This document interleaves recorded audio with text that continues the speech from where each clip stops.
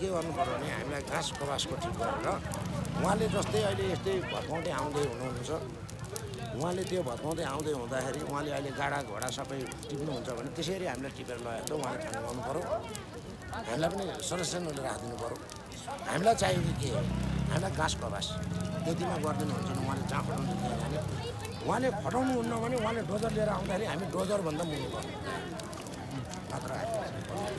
हामीले गरेको बसोबास चाहिँ हामी होइन उहाँले यदि यो कुरा तिमीहरू यस्तो हो तिमीहरू सबै सुकुमाइ छन् भने छानबिन गरेर हामीलाई छोड्नु हो। कोही गरिब होलान् कोही दुःखी होलान् कोहीको होला कोहीको नहोला त्यसमा छानबिन गरेर गर्नुहुन्छ नि हामी तयार छौँ होइन भनेदेखि त्यतिर ल्याएर लाला बालाको बिचोक अहिले हजुरले देख्नु भएको छ अब सडकमा छ सामान। अब हामी सडकमा सुत्न पनि तयार भएपछि त्यहाँनिर सडकमा सुत्दैन हामी यहाँ सडकमा सुत्छौँ आगो बाल्छौँ।